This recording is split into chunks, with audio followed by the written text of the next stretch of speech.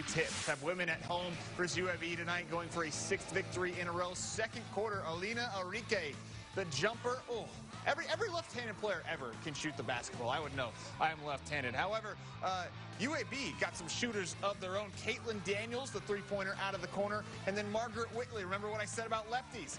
Oh my gosh, left-handed, can shoot. She had 20 points to lead the Blazers, but the Miners would storm away with this one in the second half.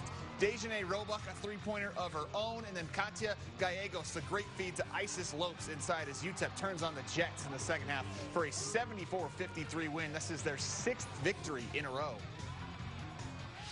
we were doing something we don't normally do, and it was causing us some problems. So we went back to the old way of doing it, and I thought it really helped us control the ball a little bit more. And once we could control the ball, we were better in the half court defense. So um, I'm really, really impressed that we were able to make an adjustment like that at halftime and then come out and, and, kind of uh, guard the way that we did.